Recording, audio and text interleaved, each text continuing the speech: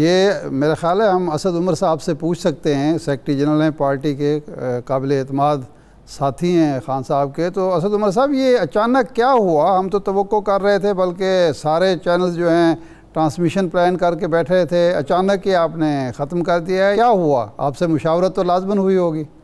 जी नहीं जी ये तो कोई अंडरस्टैंडिंग वगैरह का नतीजा नहीं है। दो बुनियादी वजूहत थी जिसकी बुनियाद पे इमरान खान साहब ने ये फैसला किया। अच्छा। एक तो जो कल हुआ मेरे ख्याल में पाकिस्तान की तारीख में इससे बदतरीन रियासती तशद जो है उसकी कोई मिसाल नहीं मिलती सिंध के अंदर पंजाब के अंदर इस्लामाबाद के अंदर। और के पी में भी जो शुरू के इलाके थे जहाँ पर उन्होंने कंट्रोल करने की कोशिश की बॉर्डर के ऊपर। तो और और सबसे ज़्यादा उसका अफसोसनाक जो था पहलू वो तो ज़ाहिर है कि लोगों की हलाकत हुई शहीद हुए लोग। लेकिन बहुत बड़ी तादाद में हमारे वर्कर्स गिरफ़्तार इंजर्ड उनको जख्मी हुए गाड़ियाँ तोड़ी गई। और उसके बावजूद जो है वो वर्कर्स भी और आम आवाम भी बड़ी बहादुरी से मुकाबला करते रहे। लेकिन खान साहब जो है वो ज़ाहिर है एक पाकिस्तान का भी दर्द रखते हैं दिल में और पाकिस्तानियों को भी रखते हैं। और उनको लग रहा था कि ये जो है आगे और मजीद तसादम बढ़ेगा सिक्योरिटी फोर्सेज वाला में तो वो एक आखिरी मौका दोबारा ज़रूर देना चाहते थे। हुकूमत को कि जो सही फैसला है जो नविश्ता है दीवार है जो पाकिस्तान की अवाम चाहते हैं उसको कर दें। दूसरी चीज़ जो थी वो सुप्रीम कोर्ट का क्योंकि फैसला जरा लेट आया और वो जो लेट आया तो उसके बाद क्योंकि वो लेट था तो शायद इसलिए बहाना था हुकूमत के बाद। आपको पता है कि उसके बाद भी वो बिल्कुल वाजे तरीके से उसकी खिलाफ वर्जी करते रहे। टीयर गैस शेलिंग भी चलती रही सुबह तक चलती रही डी चौक के अंदर बाकी जगहों पर भी। और इसी तरीके से गिरफ्तारियाँ भी हो रही थी और पुलिस का लाठीचार्ज भी हो रहा था।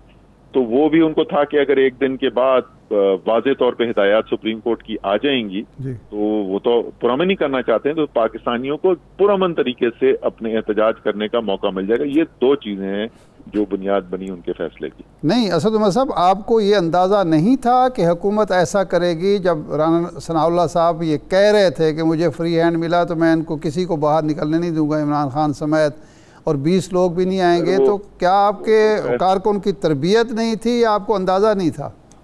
सर पहली बात तो ये ज़रा सा राना साहब से ज़रूर बोलें कि किसी की ज़िम्मेदारी तो लगाए ना ज़रा गिनती जिसकी अच्छी हो। तो जरा गिन के तो बताए कि कल पाकिस्तान में बंदा निकला कितना था वो जो बीस कह रहे थे। आ, हम यहाँ पर पहुँचे जी मैं इस्लामाबाद का आपको ज़िक्र करूँ कि हम पहुँचे को तकरीबन रात के बारह बजे के करीब हम यहाँ पर पहुँचे।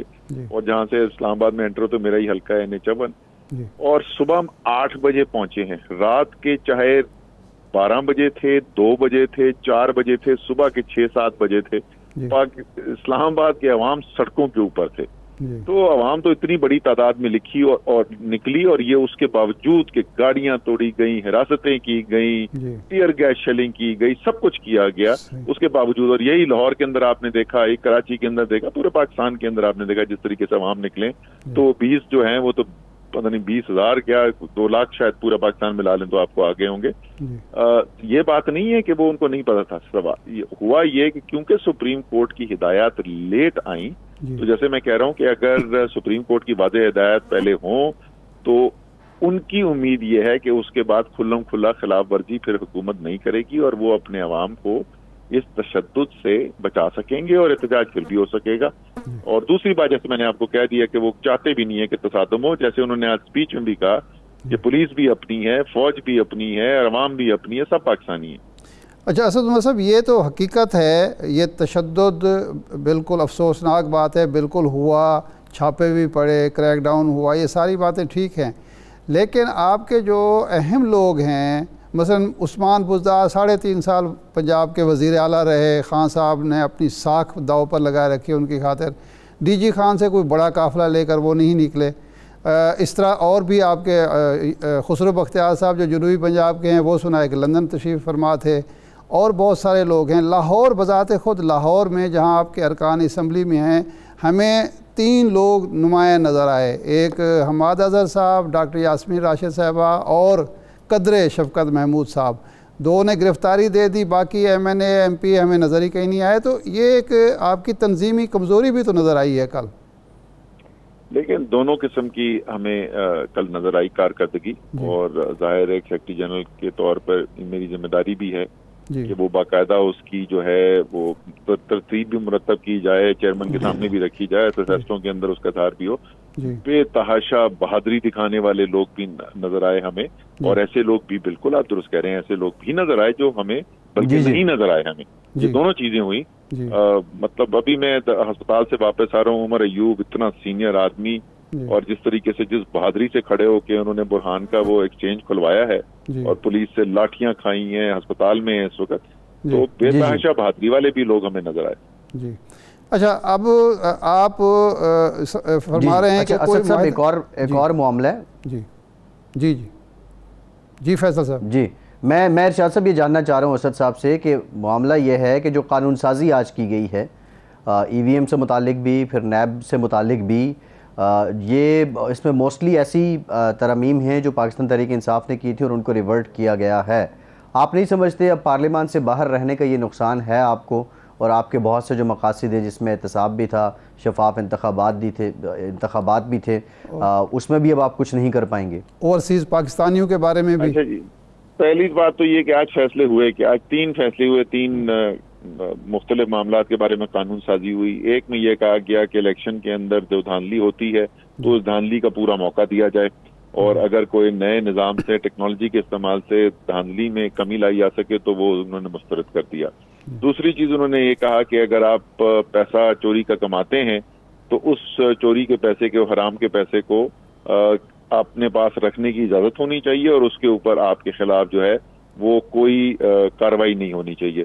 और तीसरी चीज़ उन्होंने कहा कि वो मोहब्बत वतन पाकिस्तानी जो तीस अरब डॉलर से ज़्यादा पैसा पाकिस्तान भिजवाते हैं और जो इस मुल्क के साथ जिनका दिल धड़कता है उनको वोट डालने का हक नहीं होना चाहिए। ये आज कानून साजी हुई है। इसके अंदर ये आखिरी वाला जो है जो बैरून मुल्क रहने वाले पाकिस्तानियों का मामला है ये तो सुप्रीम कोर्ट का वर्टिक है जिसकी इम्प्लीमेंटेशन हो रही थी और वो तरीके इंसाफ ही केस लेके गई थी तो ये तो चैलेंज हो सकता है कोर्ट ऑफ़ लॉ के अंदर भी। बाकी जो है ये करते हैं ये पता नहीं असम्बलियाँ एक हफ़्ते चलेंगी एक महीना चलेंगी दो महीने चलेंगी। आ, लेकिन चलनी नहीं है इन्होंने।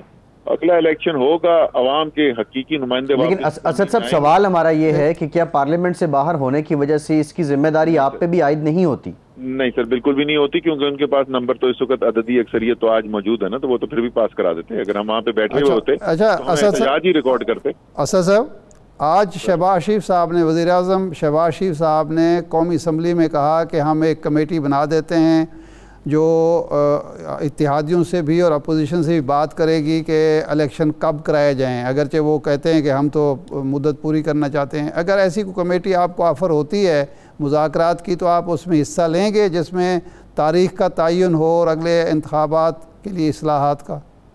सर वो ऐलान अगर कर दें कि वो जल्द इंतबात कराने के लिए तैयार हैं तो बातचीत बिल्कुल हो सकती है और उसके अंदर तारीख मुतन हो सकती है लेकिन असूली तौर पे पहले ये तो फैसला करें कि जल्द इंतबात कराने को तैयार हैं। और ये ये ऐलान उनको आज नहीं आज से एक महीना पहले करना चाहिए था। ये पाकिस्तान की तारीख में पहली दफ़ा हो रहा है कि इतनी बड़ी सियासी मोबिलाइजेशन हो रही है मुल्क के अंदर इस्लामाबाद में इतनी बड़ी तादाद में लोग निकल रहे हैं और सियासी हुकूमत और मौजूदा हुक्मरान जो हैं उन्होंने एक दफ़ा भी बात करने की कोशिश भी नहीं की। ये अपने आप को सियासी और जमहूरी लोग बोलते हैं और ये बोलते हैं, इमरान खान जमहूरी नहीं है। यहाँ जब फजल रहमान लेकर आए थे अपना धरना तो हमारी पूरी टीम बनी हुई थी। अक्रम दुरानी के घर पे हमारी मीटिंग्स होती थी। तो ये तो इंतहाई गैर जमहूरी रवैया था। तो बातचीत हम ज़रूर करने को तैयार हैं, अगर बामकसद हो और बुनियादी असूल जो है, उसके ऊपर इतफाक हो तो फिर सारी तफसील पे बात की जा सकती है।